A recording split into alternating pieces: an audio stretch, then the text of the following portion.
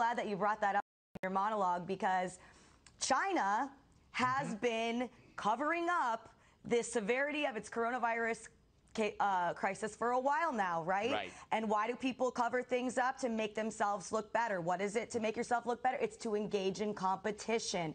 Okay, yeah. that's clearly what he meant. You don't need a PhD in social justice to figure that out. You need a dictionary and the ability to read.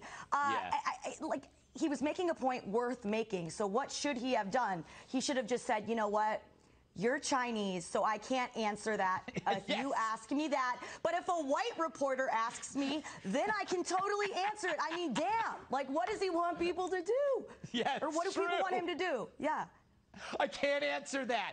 So, Tyrus, this is like a brave new world, and yet we have a media that keeps like basically crapping on our citizens for their individual concerns. They're not cutting them any slack, which drives me crazy. I know it's not a question. Well, yeah, it, it was a, a, statement, but I, I got you. Yeah. Um, the the thing about it is, we can we have to make decisions. We have to make personal, individual decisions in this country uh, pretty soon, and I think that's the whole point of what it is to be an American. Mm-hmm. We have the guidelines from the CDC. We have things we can do, but we know now that there's sharks in the water. We know that right. whether we stay indoors or we go outdoors, we'll run the risk. We can take right. precautions.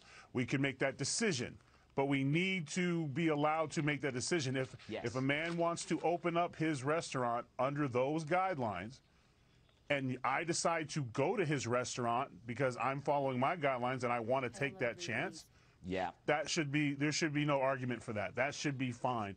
We know what's going on. It's just whenever they try to make medicine, science, political, it never works. And this yeah. is where people are making their own decisions, and that's what it's all about. Absolutely. Oh, we got so much more. I love this show. Up next, can Biden sustain a bunker campaign? Let's check it out.